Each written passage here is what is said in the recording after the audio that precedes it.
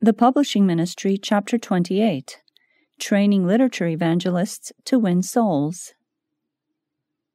The Publishing Ministry, Chapter 28 Training Literature Evangelists to Win Souls. Christ, our recommendation to the people.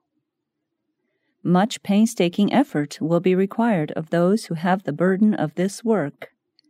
For right instruction must be given, that a sense of the importance of the work may be kept before the workers, and that all may cherish the spirit of self denial and sacrifice exemplified in the life of our Redeemer.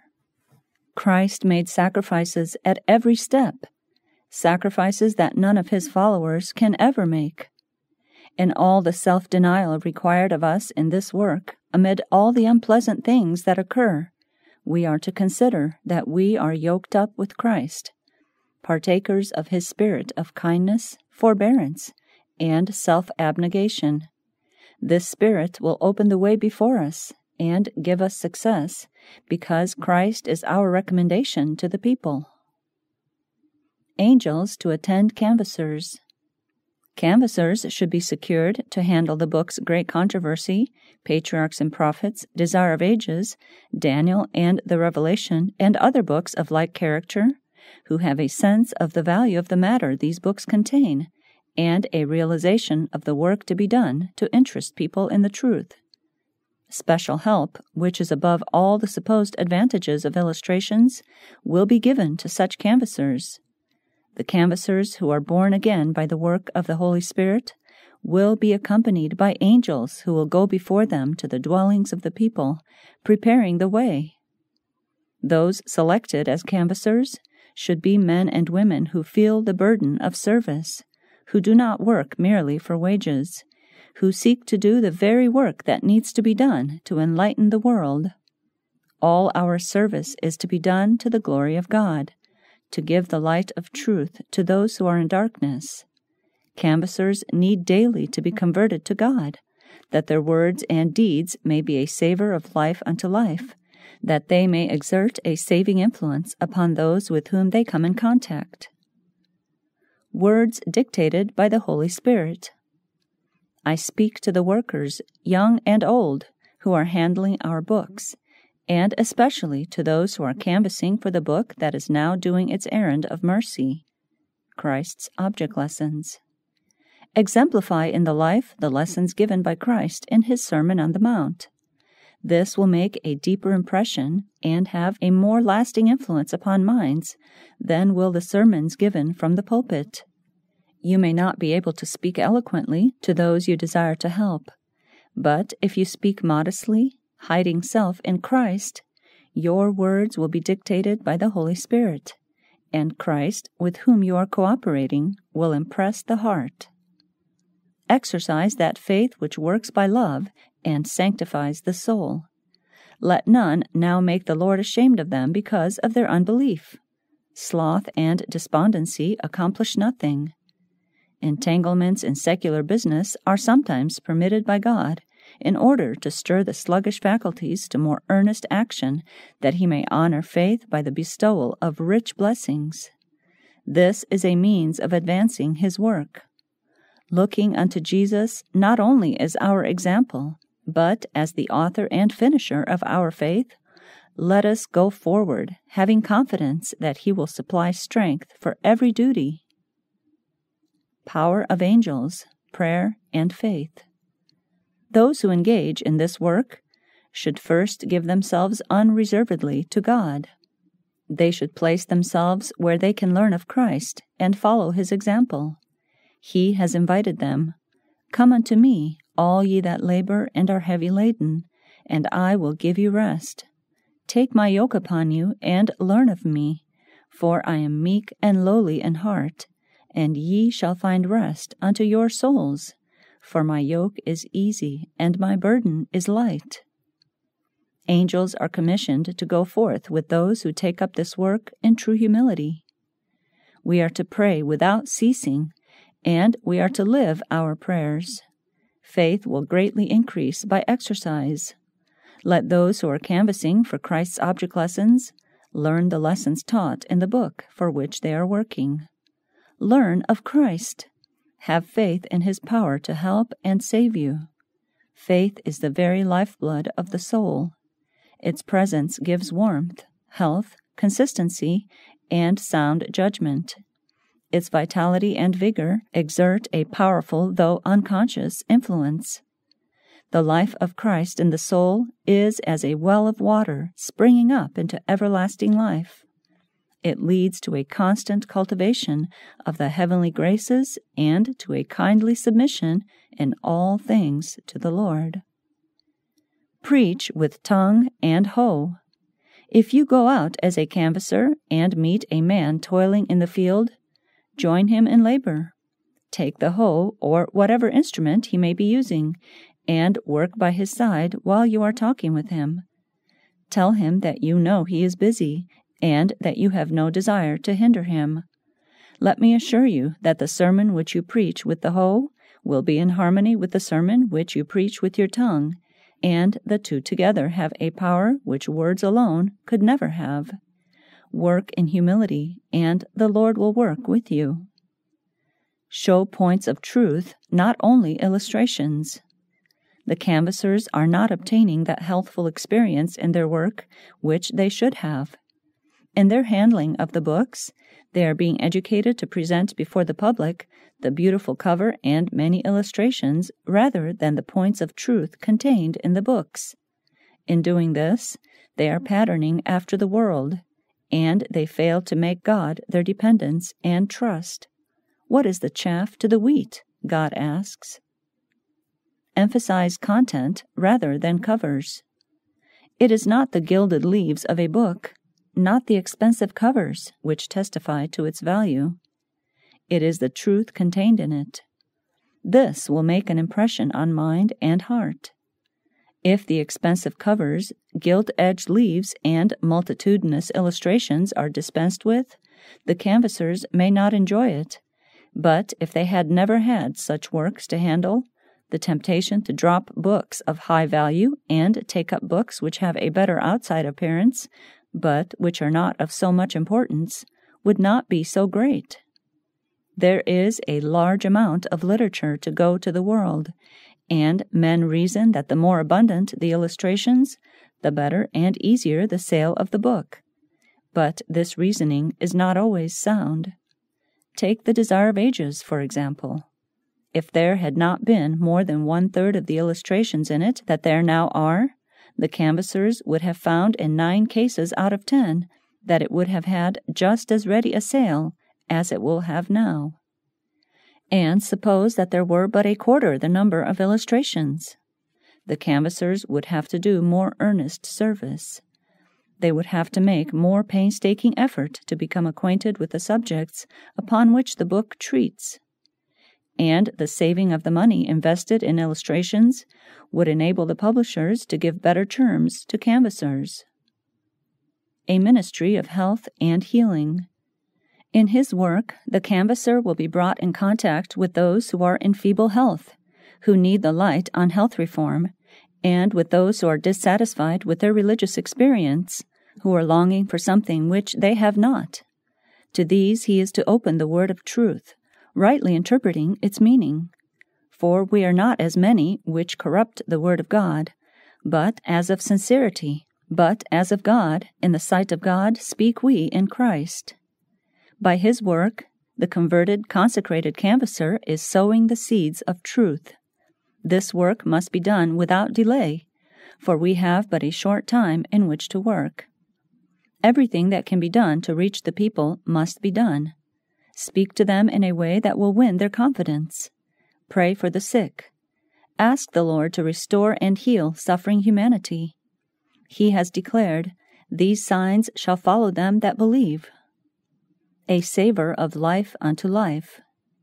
It is the canvasser's duty to cultivate the talents God has given him, to maintain his connection with God, to help always where he can he has positive and constant need of the angelic ministration, for he has an important work to do, a work that he cannot do in his own strength. Thanks be unto God, which always causeth us to triumph in Christ, and maketh manifest the savour of his knowledge by us in every place. For we are unto God a sweet savour of Christ, in them that are saved, and in them that perish. To the one we are the savour of death unto death, and to the other the savour of life unto life. And who is sufficient for these things? Jewels in all the churches. The Lord God of heaven would have the entire church devising ways and means whereby high and low, rich and poor, may hear the message of truth. The Lord Jesus, the mighty Savior, has died for these souls. He can arouse them from their indifference. He can awaken their sympathies.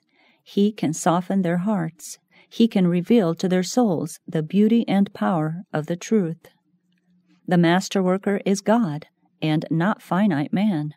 And yet he calls upon men to be the agents through whom he can impart light to those in darkness. God has jewels in all the churches, and it is not for us to make sweeping denunciation of the professed religious world, but in humility and love to present to all the truth as it is in Jesus. Let men see piety and devotion. Let them behold Christlikeness of character, and they will be drawn to the truth. He who loves God supremely and his neighbor as himself will be a light in the world. Those who have a knowledge of the truth are to communicate the same. They are to lift up Jesus, the world's Redeemer. They are to hold forth the word of life. We are in no wise to be deterred from fulfilling our commission by the listlessness, the dullness, the lack of spiritual perception in those upon whom the Word of God is brought to bear. We are to preach the Word of life to those whom we may judge to be as hopeless subjects as though they were in their graves. Though they may seem to be unwilling to hear or to receive the light of truth, without questioning or wavering, we are to do our part. Literature evangelists, not necessarily preachers.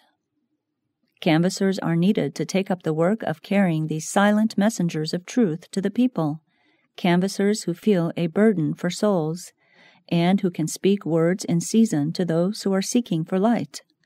Some may say, I am not a minister.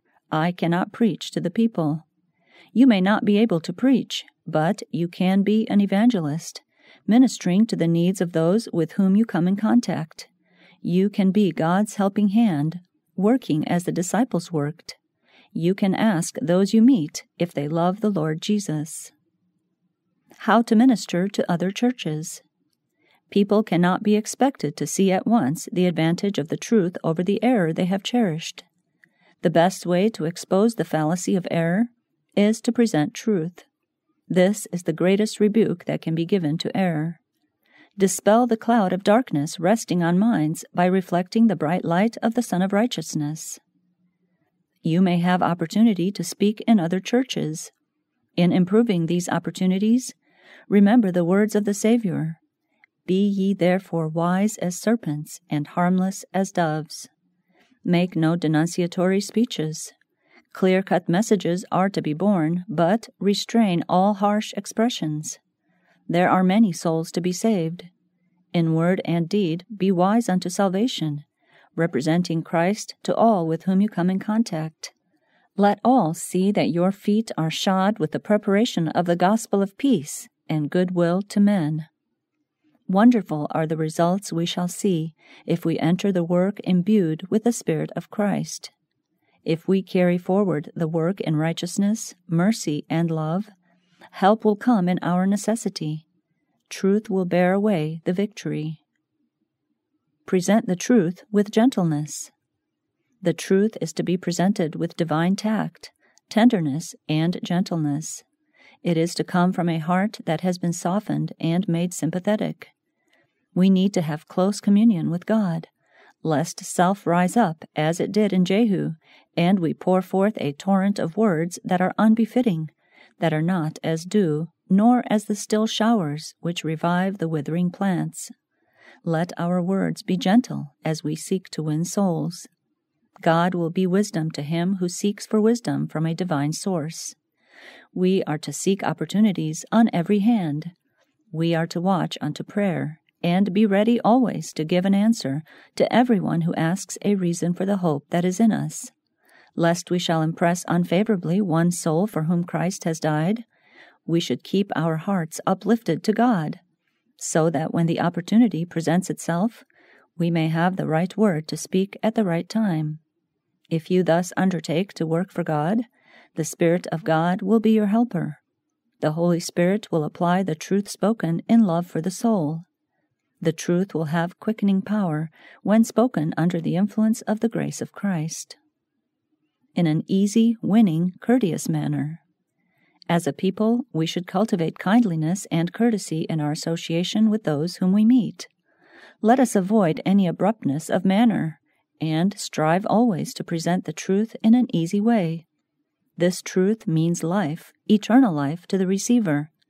Study, therefore, to pass easily and courteously from subjects of a temporal nature to the spiritual and eternal. A most courteous manner characterized the work of the Savior. Seek in the most gentle way to introduce your mission. While walking by the way or seated by the wayside, you may drop into some heart the seed of truth. Colporteur Minister Teamwork.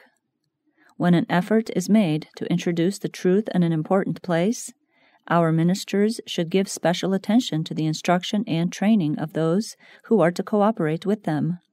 Colporteurs and canvassers are needed, and those who are fitted to give Bible readings in families, so that while the ministers are laboring in word and doctrine, these can also be calling minds to the truth. Our ministers who have gone to important places to hold tent meetings have often made a serious mistake in devoting all their time to sermonizing. There should be less preaching and more teaching, teaching the people, and also teaching young men how to labor successfully. Ministers should become efficient in teaching others how to study the Bible and in training the minds and manners of those who would become workers in the cause of God and they should be ready to counsel and instruct those who have newly come to the faith, and who give promise of possessing ability to work for the Master. Labor outside Adventist centers. We should release some of the workers that are now tied up in those places where many interests are centering, that they may go out as missionaries to communicate the truth to others. Not only should the workers in these centers be devoting their energies and means to the sending out of our publications, but they should also feel the importance of spending a portion of their money in supporting the living preacher in the cities where labor wisely expended will be very effective. The printed page cannot accomplish alone the work that the living minister can do. He can explain the scriptures to the people, praying with them and appealing to them, and making effective the truths of the Bible. If necessary, let us limit the number of our periodical publications, and let us send forth men and women to labor in faith and consecration for the giving of this last message of mercy to the world. From city to city and place to place, from town to town, from city to city, from country to country, the warning message of present truth is to be proclaimed not with outward display, but in the power of the Spirit, by men of faith. In the golden censer of truth, as presented in the Scriptures, there is that which will convict and convert souls. As the truth that our Savior came to this world to proclaim is presented in the simplicity of the gospel, the power of the message will make itself felt. In this age, a new life coming from the source of all life is to take possession of every faithful laborer. Oh, how little do we comprehend the breadth of our mission! We need to have earnest, determined faith and unshaken courage in the Lord. Our time to work is short, and we are to labor with unflagging zeal. America needs the light, too. Wake up, wake up, my brethren and sisters, and enter the fields in America that have never been worked. After you have given something for foreign fields, do not think your duty done. There is a work to be done in foreign fields, but there is a work to be done in America that is just as important. In the cities of America, there are people of almost every language.